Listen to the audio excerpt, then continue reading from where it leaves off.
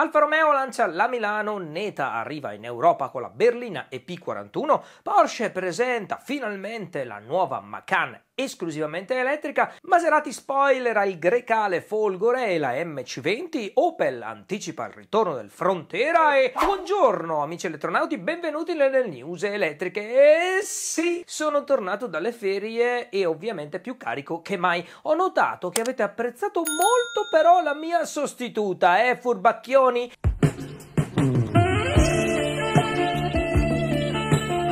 Purtroppo le cose belle si sa prima o poi finiscono, ma questa in particolare però no, non finisce qui, anzi comincia, perché Marta e tutti gli altri miei collaboratori li troverete sul mio secondo canale seguendo questo QR code, questo qui, o al link che trovate in descrizione o banalmente cercando elettronauti nella barra di ricerca di YouTube. Se andate a darci un'occhiata, mi raccomando, iscrivetevi al canale e guardate tutti i nostri video. E a tal proposito, proprio ora è uscito il primissimo video del mio braccio destro Ginger Black, un'analisi ben fatta sulla nuova Opel Astra elettrica. Andatelo a vedere alla fine di questo video e per non farci mancare anche un contatto un po' più personale ed informativo formale vi informo che sono ricominciate le live in onda ogni lunedì alle ore 21. Cominciamo velocissimi perché le news elettriche di questa settimana sono veramente tantissime. La prima news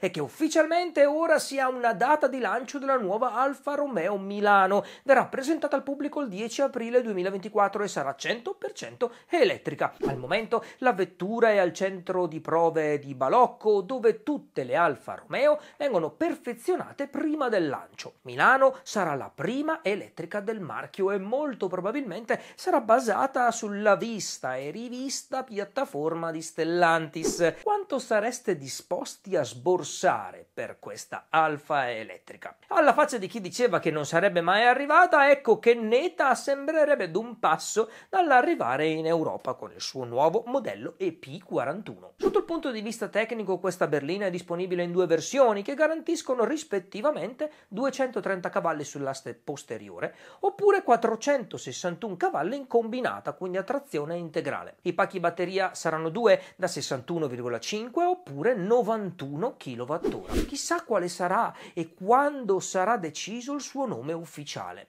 Nel frattempo devo dire che non sembra affatto male, almeno sulla carta. Poi vedremo effettivamente se sarà anche competitiva per via del prezzo, della dogana, dei dazi, eccetera, eccetera. E se sarà in grado di essere anche poco energivora e quindi farci fare tanti tanti chilometri. Per ora l'autonomia non sembra essere ancora infatti stata dichiarata. Ancora andiamo con una cinese. Il nuovo marchio LEVC ha avviato la produzione del suo nuovo van 100% elettrico. Si chiama L380, un po' come il Boeing, ed è basata sulla nuova piattaforma del gruppo Geely chiamata SOA. Il primo prototipo è uscito dalla linea di montaggio il 25 gennaio dallo stabilimento di EU e sembra essere davvero davvero interessante. Anche qui per i dati tecnici dobbiamo aspettare ancora un po', però di design promette veramente molto molto bene. Durante il corso poi della settimana passata, su una strada vicino al circolo polare artico, è stato avvistato un nuovo modello che in molti credono essere il nuovo Opel Grandland 100% elettrico,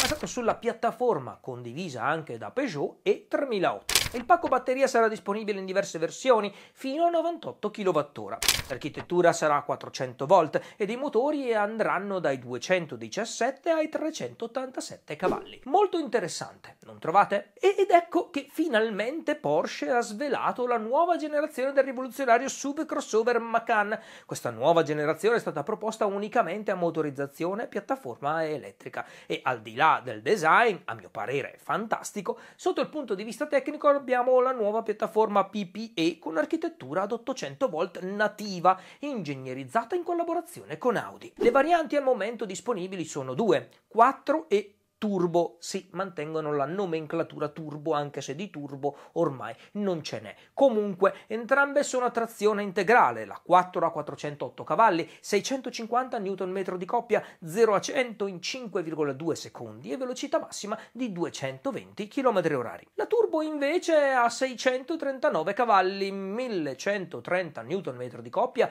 0 a 100 in 3,3 secondi e velocità massima autolimitata di 260 60 km/h. Per entrambe le varianti il pacco batteria è da 100 kWh ricaricabile a 270 kW in corrente continua oppure ad 11 kW in corrente alternata. In DC il 10-80% verrà coperto in soli 20 minuti e le autonomie saranno rispettivamente di 613 km per il modello più piccolo e 591 per il modello invece un pochino più spinto. Prezzo? Beh, un po' altino forse, ma neanche troppo dato che è una Porsche 88.000 euro. Parlando poi di SUV, Maserati ha rilasciato nuove informazioni relative al nuovo Grecale Folgore, per l'appunto 100% elettrico. Sarà disponibile in poche configurazioni, la più spinta sarà trazione integrale con 557 cavalli e 820 Nm di coppia, velocità massima di 220 km/h e 0-100 in 4,1 secondi. Il pacco batteria sarà da 105 kWh e l'autonomia in ciclo VLTP dovrebbe attestarsi sui 500 km.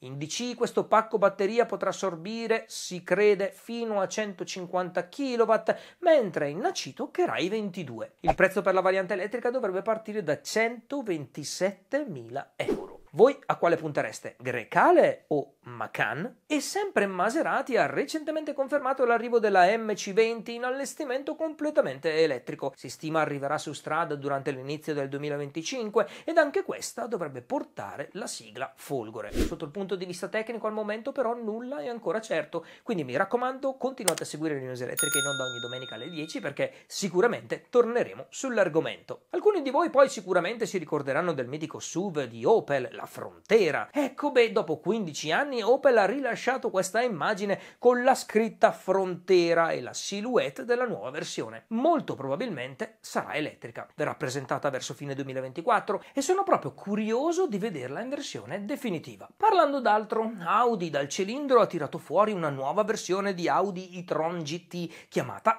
Ice Edition. Questa edizione limitata è stata sviluppata da Audi Sport per celebrare la sua nascita 41 anni fa. Prezzo di listino pari a 230.000 euro e tiratura limitatissima di 99 esemplari. E anche se il CEO di Toyota è scettico, sembra che durante quest'anno con grande probabilità presenterà il suo veicolo 100% elettrico più importante di tutti. Sarà un crossover a trazione integrale ed accessibile in termini di prezzo. In molti pensano potrebbe chiamarsi BZ2X, ma ancora non ha un nome in codice. Sarà lungo 4,5 1,3 metri ed avrà un design molto simile a un incrocio tra BZ4X ed il nuovo CHR. È inutile dire che potrebbe essere molto molto interessante. Toyota dopo il flop di BZ4X deve correre ai ripari e chissà se questo finalmente sarà il modello che cambierà le sorti dell'azienda nel reparto 100% elettrico. E attenzione a questa notizia. Sappiamo che praticamente da sempre Toyota detiene i record di vendite globali, ma durante il 2020 2023 è stata sorpassata, pensate, da chi? Beh, da Tesla. Surprise, motherfucker! Infatti l'auto più venduta al mondo è elettrica ed è ovviamente Tesla Model Y. Pensate che ha totalizzato 1,23 milioni di nuove immatricolazioni. Al secondo posto Toyota RAV4 con 1,07 milioni ed al terzo scalino del podio c'è Corolla con 1,01 milioni di auto. Ottimo lavoro Tesla. E a proposito di Tesla ragazzi, come non ricordarvi che per qualsiasi problema abbia la vostra auto elettrica preferita, tutto il team degli elettronauti consiglia sempre di affidarsi a degli esperti in caso di problemi. Pertanto capita a fagiolo il nostro sponsor Carrozzeria Musesti, il body shop ufficiale della provincia di Brescia. Troverete personale qualificato, professionale sorridente e ovviamente la carrozzeria è convenzionata con le maggiori assicurazioni disponibili sul mercato e in caso di bisogno matrimonio è dotata anche di auto sostitutive e se dite che vi mando io avrete anche un trattamento speciale. Andiamo ora a San Diego, colpita nei giorni scorsi da un forte nubifragio che ha causato l'allagamento di diverse strade cittadine. Ne sto parlando perché è diventato virale questo video pubblicato su X, dove si vede un Volkswagen New Beetle sorpassato da una Tesla Model 3 quasi completamente immersa in acqua. Oh. Oh.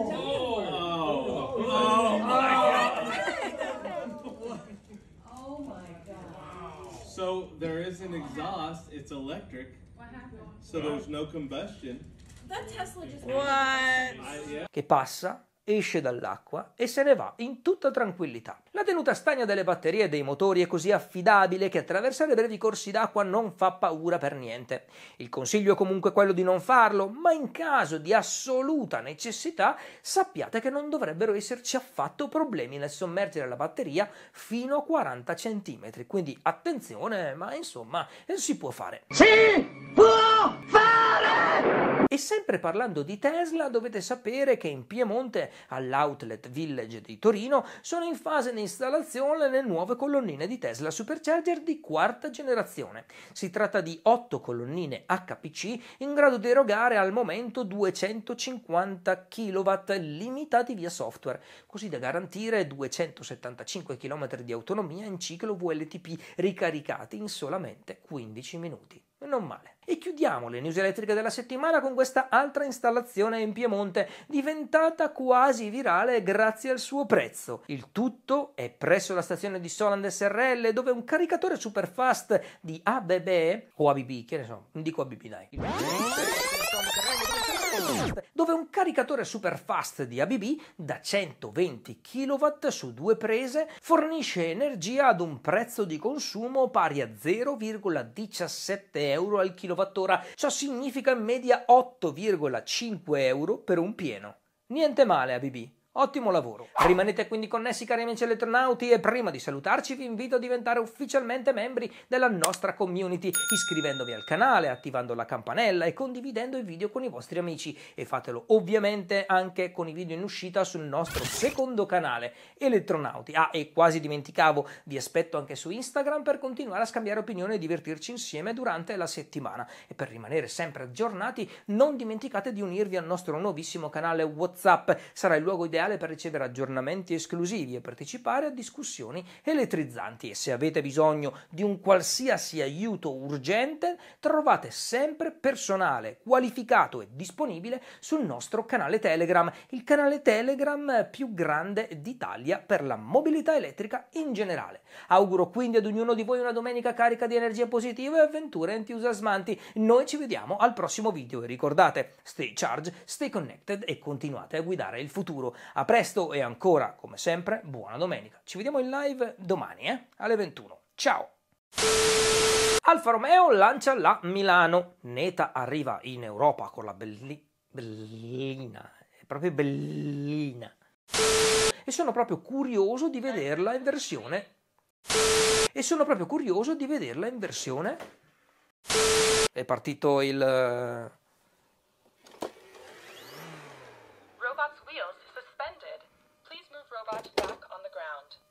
È partito il robot aspira tutto.